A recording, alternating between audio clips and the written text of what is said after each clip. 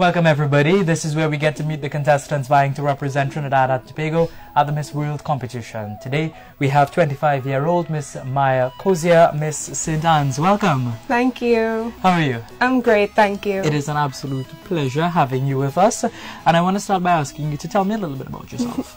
I'm a filmmaker. Uh-huh. I won an open scholarship in 2012, which allowed me the opportunity to study film in New York City.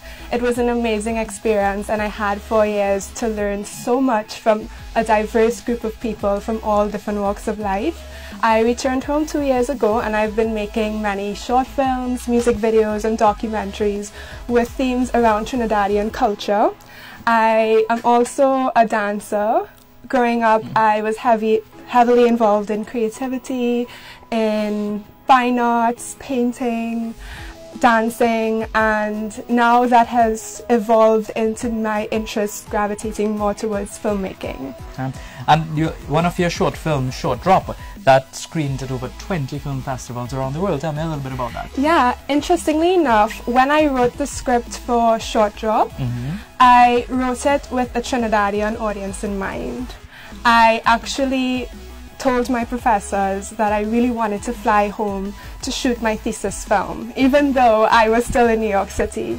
So I convinced a couple of my colleagues at school to jump on a plane, fly with me to Trinidad, and we will shoot this short film called Short Drop.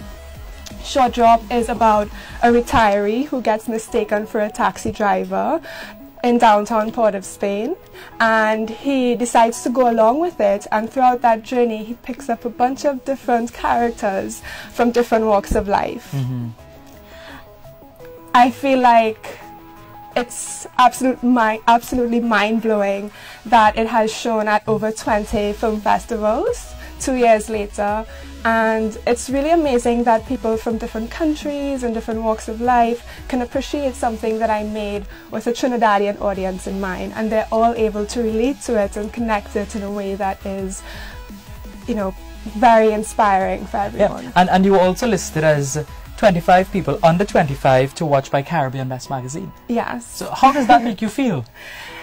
it's amazing that people are looking um, and i feel like i was a bit discouraged at one point to enter this field. Why? because it's a field that's monopolized by men. And men tend to dominate in roles as directors as producers. And that definitely got to me as a young woman of color who wanted to pursue this field. I thought to myself regardless of you know the stigma around women entering these types of fields that I would go for it and that I would do it wholeheartedly and I feel like that's why And now, from filmmaking, you entered the Miss World competition. Tell me why. I really feel like this competition especially with their mandate of beauty with a purpose is a great way to give back to the community. Mhm. I feel like I've accomplished so much because of Trinidad and Tobago. They paid for my education, which allowed me to become the person that I am today. And this is an excellent platform to give back, especially to young women. I feel like being in a position where I can be a role model and a person of influence can really help me tell young girls out there who may be afraid to go after their dreams or may feel like you know that's out of their league that they can do it if they believe in themselves. So i really feel like this is a great platform to yes better myself as an individual but to also give back to the community and inspire young women to go after their dreams fully and fearlessly. And, and those are some, some big high standards that you've set for yourself. But if you go on to win this competition and represent Trinidad and Tobago in China, what do you think you would be able to do that would stand out amongst the over 100 other fields. Yeah. If I do go to China, I want to be unapologetically Trinbagonian.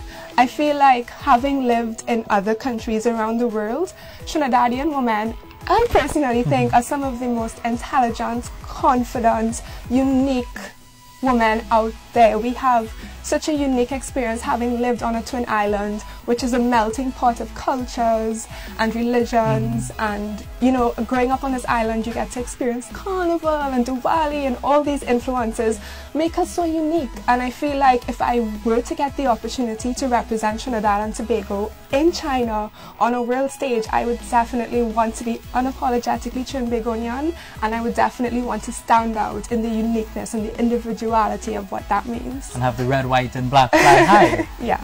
What would you say to your fellow competitors in this competition? I actually got to know these girls in a way that I didn't think I would. Mm -hmm.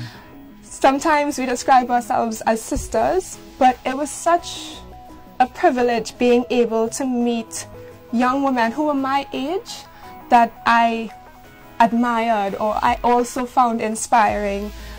Among the group of girls, there's a national athlete. Mm -hmm. She went away on a full scholarship. Mm -hmm to run and study. She's such an inspiration. She has the greatest energy I've ever seen in a young woman.